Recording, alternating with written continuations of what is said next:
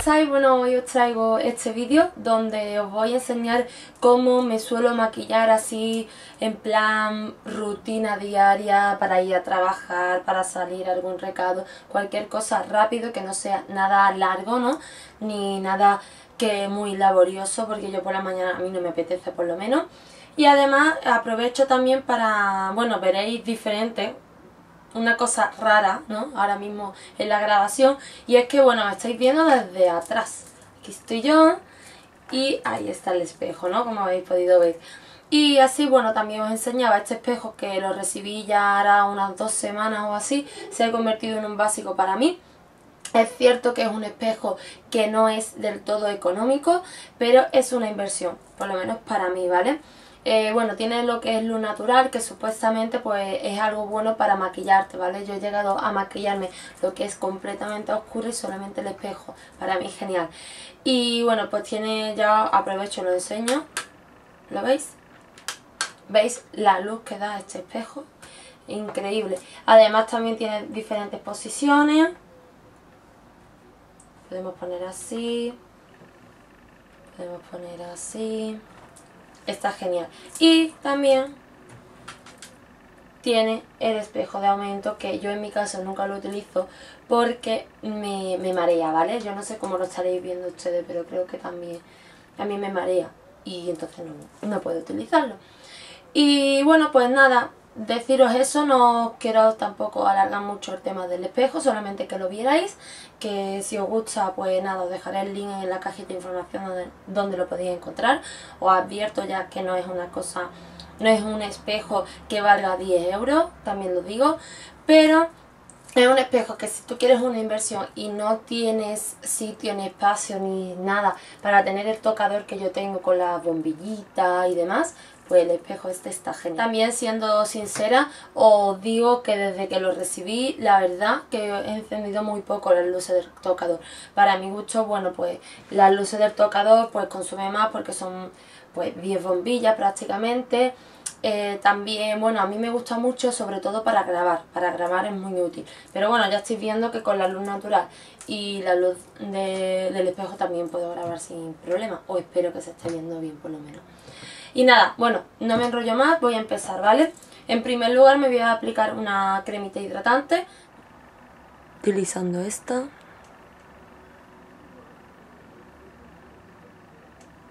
Una crema con una textura bastante densa.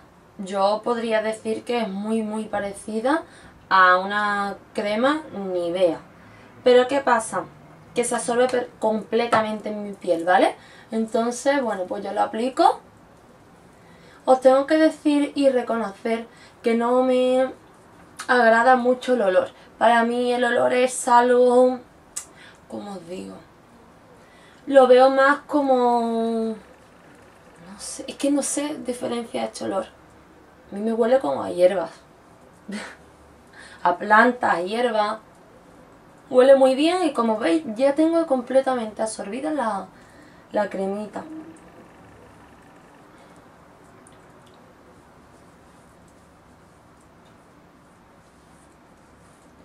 Ya está, completamente. Ahora a continuación lo que voy a utilizar es un contorno de ojos. Para mí es algo muy importante, ya que al tener ojeras pues intento siempre combatirlas, ¿vale? Las ojeras pueden ser tanto por cansancio como también pueden ser hereditarias y demás. Yo desde siempre las he tenido, duerma 10 horas, duerma 6 o 5, pero es que siempre la he tenido, ¿vale? Es cierto que últimamente, bueno, cuando me he estado aplicando este contorno, también he notado que como que me descongestiona algo más la zona, ¿vale? Pero aún así no me quitan las ojeras, que es algo que lo, lo digo claramente, es algo muy difícil quitar una ojera.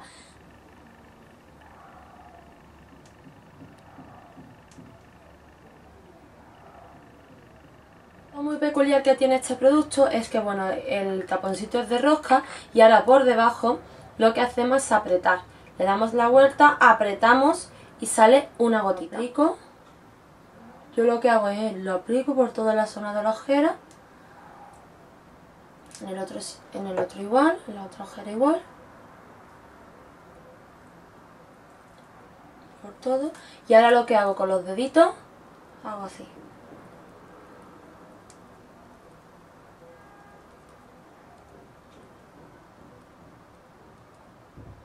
Hasta que se llegue a absorber. Cuando ya se ha absorbido todo lo, que es la crema, bueno, la crema del primer momento se absorbe muy bien y me deja la piel muy lisa.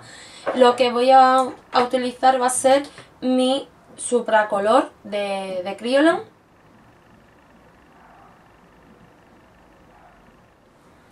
Como ya sabéis, siempre os lo he dicho, para mí este corrector es el mejor o el neutralizador el precorrector, como queráis decirle para mí es el mejor. Eso sí, tenéis casi siempre que fijarlo y también aplicar un buen contorno de ojos antes, porque si no se queda, da un aspecto muy raro a la zona de la ojera.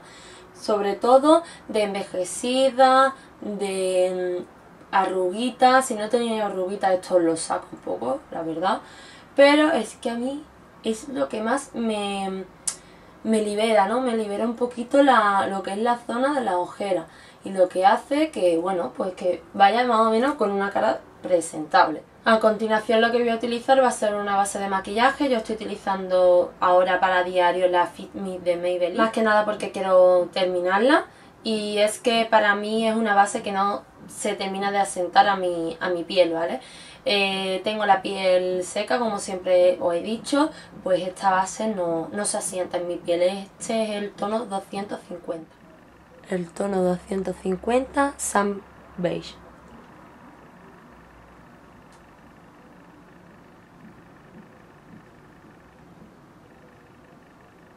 Y lo que hago es aplicarme un poquito en el dorso de la mano y con una brochita de las kabuki esta de pelo sintético, esta de la marca Vanity Tools, pues lo voy aplicando.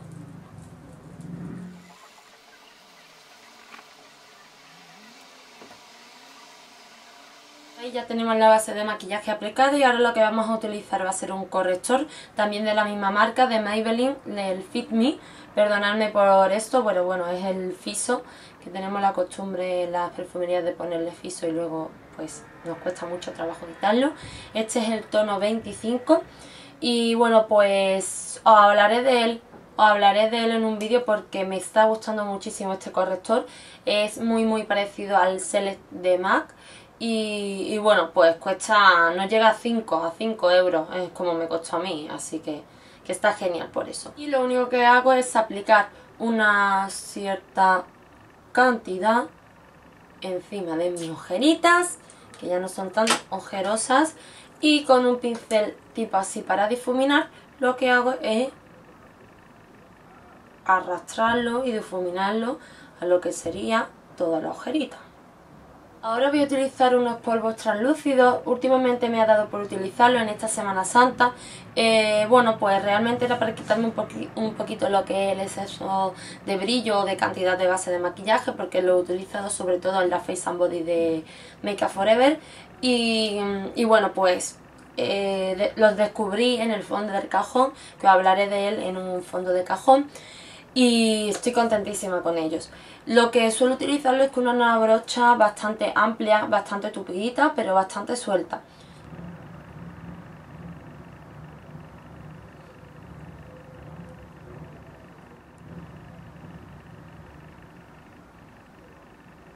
Y lo que os he dicho, pues normalmente cojo una pequeña cantidad, quito exceso y aplico lo que es frente, tabique nasal, barbilla, un poquito por la mejilla y si quiero un pelín muy muy poco por la zona de la ojera. ¿Y por qué muy muy poco? Porque las que tengamos algunas pequeñas arruguitas, yo tengo algo muy muy pequeño, ¿vale? Pero tengo líneas de expresión ya en, en lo que es la, la zona inferior del ojo y entonces, pues, ¿qué nos pasa? Que si aplicamos un polvo, producto polvo encima, pues nos seca. El polvo lo que hace es secar y marcar más la arruga a las pieles secas. Entonces, por eso hay que... Vamos a dejar lo que es el rostro listo y voy a utilizar un colorete de la marca Beauty UK. Y bueno, es el tono 04 o el 4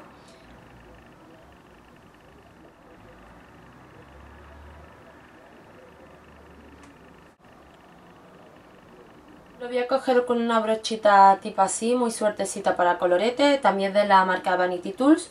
Y lo que voy a hacer es darle un poquito en lo que es las mejillas.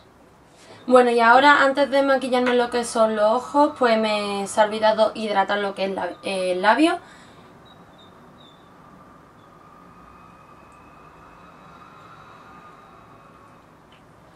Para mí este bálsamo labial es súper bueno, me hidrata un montón los labios. Es de la marca Sally Hansen y bueno, pues me lo enviaron, no me acuerdo de dónde, os lo dejaré en la cajita de información también. Y para mí es buenísimo, tiene que estar casi casi a punto de terminarse, está reventado ya el tarro. Y es porque lo utilizo siempre, todos los días, incluso antes de irme a la cama, me lo aplico. Vamos a terminar ya con los ojos, lo que vamos a hacer es utilizar una prebase de ojos, en este caso la de Line Crime, como sabéis siempre utilizo la misma. Y bueno pues voy a aplicar muy pequeña cantidad, más que nada porque no voy a aplicar lo que son sombras, voy a aplicar solo delineador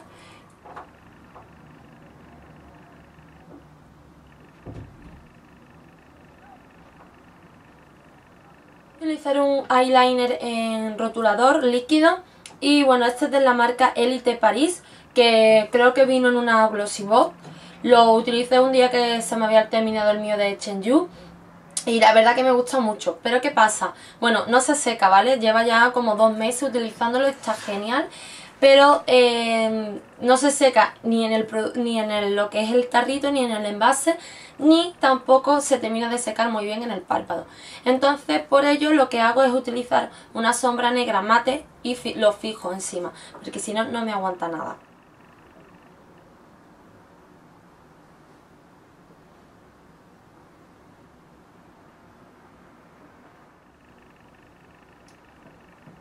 Hago pues rellenar prácticamente lo que sería la raíz de la pestaña.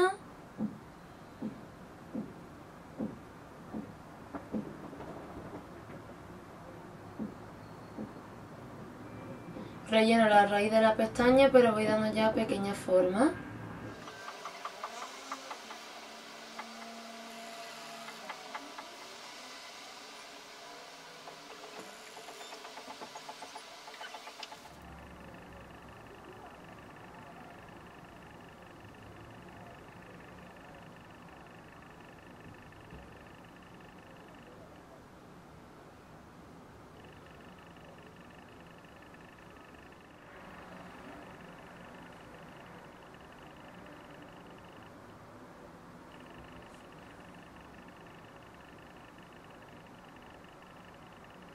Y una vez que tengo el eyeliner ya aplicado, lo que hago es con una sombrita negra, voy a poner aquí, una sombrita negra, yo utilizo casi siempre esta de una paleta de W7 y bueno, es genial esta sombra negra, a mí me encanta.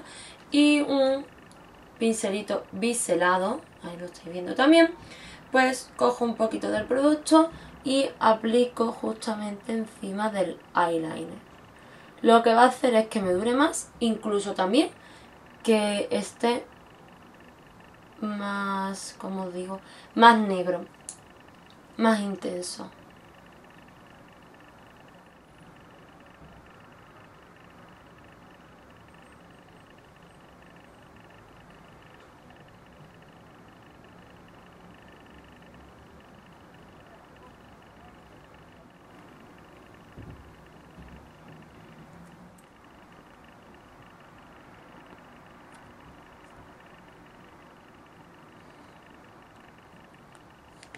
Y ahora voy a utilizar un lápiz de la marca Mua, que es un tono verde que me gusta mucho. Es green. Y bueno, es genial este lápiz verde. Lo que vamos a hacer es aplicarle un poquito lo que es la línea inferior del ojo.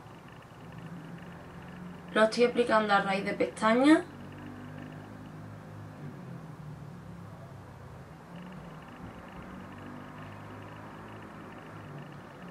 Con una esponjita lo que voy a hacer es difuminarlo.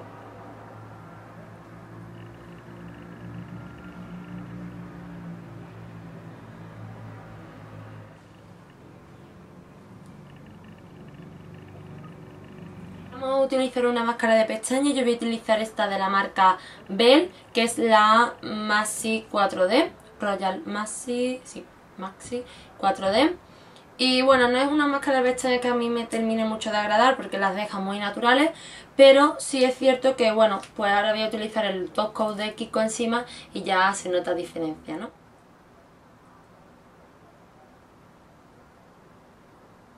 Y ahora, como he dicho, voy a utilizar el top coat de Kiko, el efecto volumen. Para terminar vamos a utilizar un gloss, yo voy a utilizar este de la marca MAC.